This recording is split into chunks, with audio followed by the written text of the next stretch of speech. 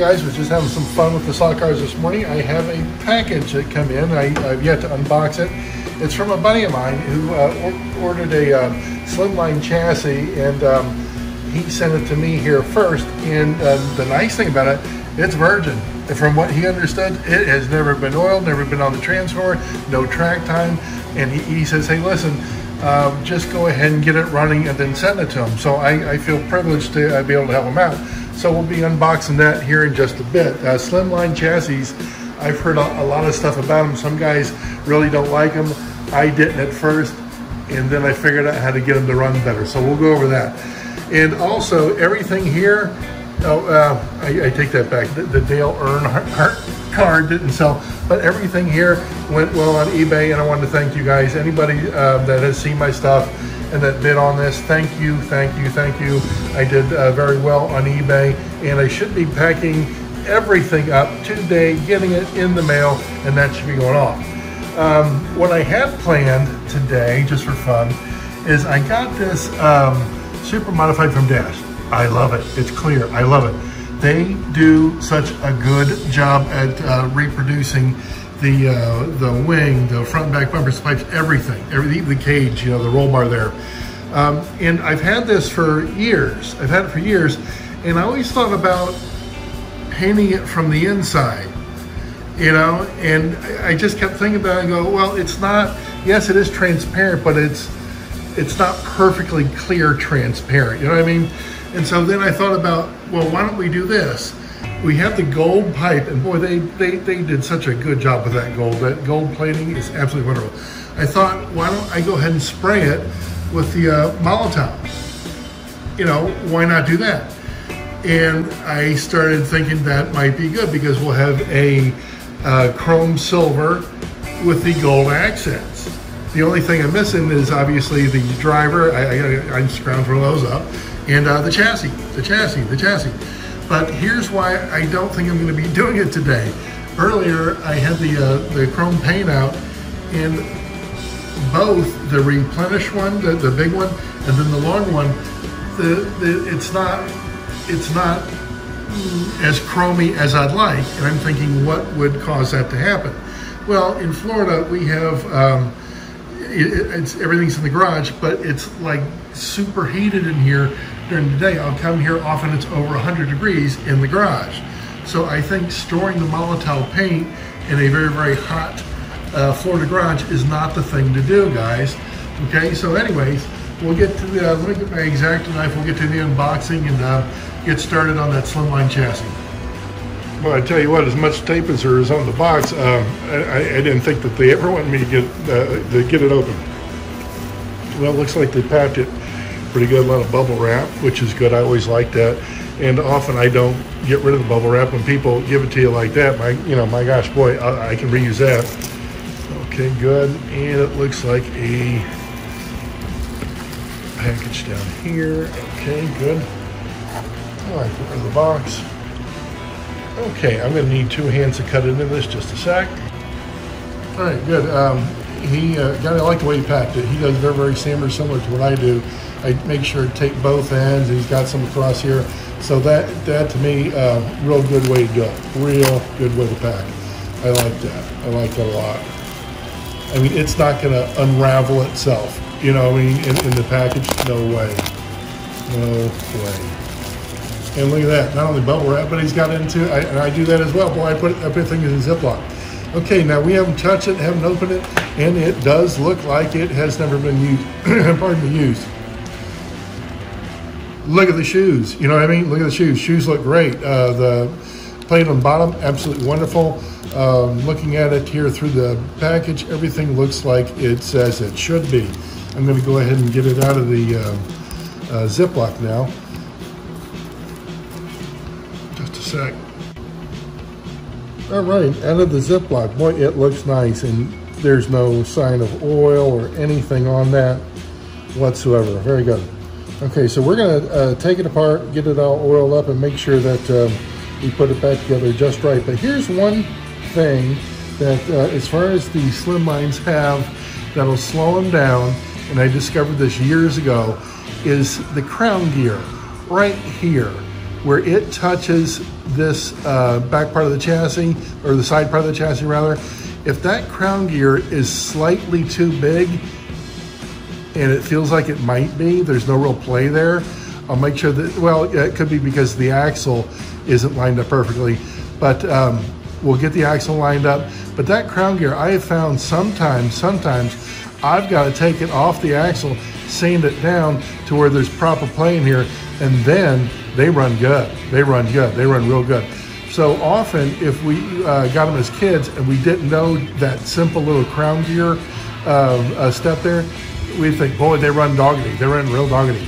Now, he, here's something I've done on a, a number of them, uh, slim lines, is um, I'll put the neodymium uh, magnets right here and right here on both sides. And I tell you what, as small as they are now, those uh, the rare earth, the neodymium magnets, they will help the performance of these slim lines, guys. They'll help the performance. I'm going to um, uh, probably have to find some and uh, send it along with this when I do uh, send it. Okay, so uh, what am I missing here? Mm, I don't think anything. Let's just go ahead and dive into it. You know what? Dive into it. You got to get that clamp off first.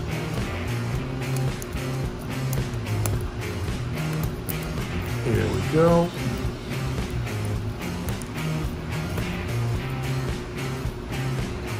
I need two hands for that. All right, I had to use two hands to get that clamp out of there. Um, let's see. Boy, you can tell it's just never been apart or anything. That's fitting kind of tight, magnets are. Okay, and got the brushes out. Man, it's nice to look at them when they've never been used. That is just absolutely pristine. Absolutely pristine. That's so very nice. Okay, I think the white magnet, yeah, that's in back, or the gray, white. Me get this one off. Oops. There we go. Okay. And look at that, boy, that's never been a weld. You know what? There's not a drop of nothing on there.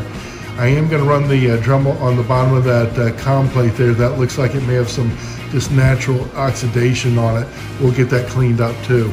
I was thinking about doing the same thing to the shoes. They're not bad, but still, if we get them polished, nice and shiny and everything, this thing's just going to be in you know high performance mode. Very, very good. Boy, look at the chrome. I tell you what, the chrome on the wheels, that looks good. That looks good. And the rubber, nice and fresh too. This bugger's never been used. All right, let's go ahead and get the shoes off. Good. Make sure we know where that spring's at. And same thing with the other shoe. Good.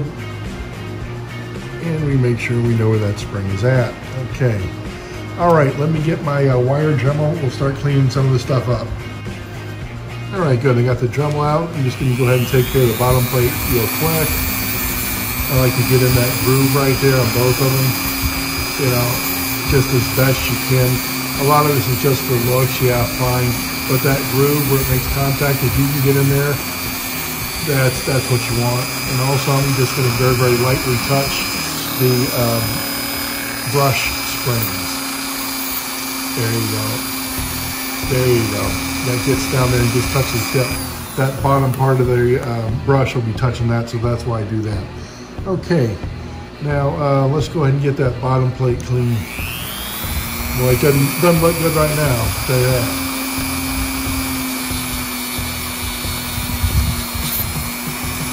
Better, already better, good. And you notice how it doesn't spin well? It's never been oiled. You know what? It's never been oiled. I bet you we put a drop of oil and it's spin a whole lot better. All right. Uh, just cleaning up the uh, gears here just for literally cosmetic purposes. That's all. That's all. All right, good. Good, good, good. And the brushes, I'm going to, just for fun, scrape them along here. There shouldn't be any real massive corrosion or anything on there, just a little bit. And again, I'm doing both sides of them. Do it, both sides, flip it. There you go. And again, not much, not much. All right, good. Let me go ahead and do some reassembly real quick. I just started the reassembling and I did the uh, engine. Again, I like to oil when I go and reassemble, guys. I really do. It only takes a second to do it, and plus you can get it everything really, really easy. Now, before I oil the back, I want to take a look, and it's got a little bit of play in there right now, but the axle is more to the uh, driver's side than it is. So let me just go ahead and see if I can press that down a little bit and even it out. Okay, that seems like it's maybe a little bit more in the other way, just a fraction. Okay, good, good. Now that's spinning free and there's a, there's a, a little bit of play in there. That's what we want. So what I'm gonna do, I'll oil the back axle, but when we put the uh, top plate on, we'll see if it spins uh, real good like it should. All right, I just put the uh, top plate in, and what's interesting is I don't have the magnets in or anything, and it does not turn as easy as it should. It does not. And there's no more play in the axillary. I mean, it, so that, again, that's telling me the crown gear, I'm, I, am going to need to sand the back of it off. So I need to take that off, sand the back of it, you know, so it's a little bit more skinny. So there's some play in here. Because I tell you what, guys, the way this is turning, that's stiff. That's stiff. You know, it, there, it, it needs to be done that way. So let me go ahead and do this. Let me go ahead and get that crown gear off the axle. Just took the top plate off a second ago and I spun it and it, it, it, moves freely now. So it tells me again the articulation between the crown gear and the drive gear there, uh, we need to skinny up the back of that crown gear. Okay, there's a crown gear right there, and this is the part I'm gonna have to grind, grind down a little bit. Just that little bit of the rim right there, just so there's some play, again, between that and the uh, side of the uh, uh body of the chassis there. So let me get me, uh, my Dremel out real quick. Here's the Dremel bit I'm going to use. It's just a bit of a barrel grinder. I'm going to do it in front of me, so just a sec. Okay, ground it down a bit. It's going to be trial and error. If that is not enough, I'll take it back off the axle and do it again. Um, I think it might be enough, but again, let's just see how it articulates. Okay, good. Arisa will put the top plate back on and, oh boy, look at that. It, it spins. It spins like it should. Uh, and, and there's just an ever so slightly little bit of um, uh, play there. That's exactly what you want. So this spins like it should. Let me go and do this. I'm gonna put the rest of it back together. We're gonna get this on the track. Uh, just trying to do some reassembly here and the only thing I neglected to do was to polish up the shoes. So let me go ahead and do that real quick. All right, good. Just clicked on the transformer. Let's see what we get. See if we get a spark. Yeah, there we go. Okay, good. Good, good, good.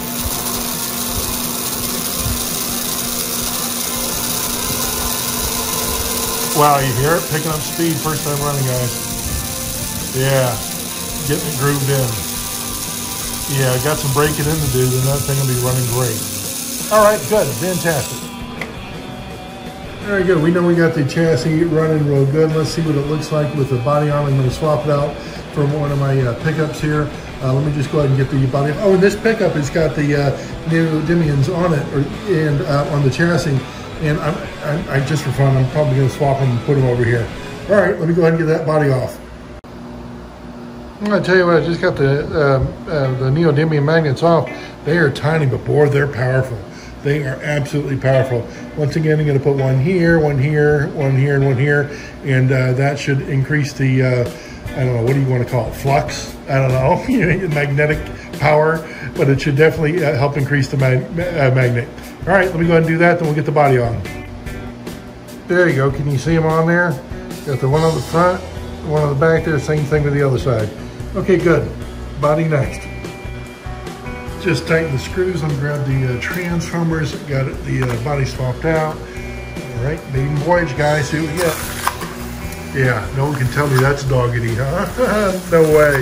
Look at that. I tell you what, again, guys, check the crown gear, if you think that the uh, Slimline can't run as good or as fast as a standard T-Jet, you're wrong. Yes, I know I have the uh, rare earth, the neodymium magnets. Yeah, I know I have that on there.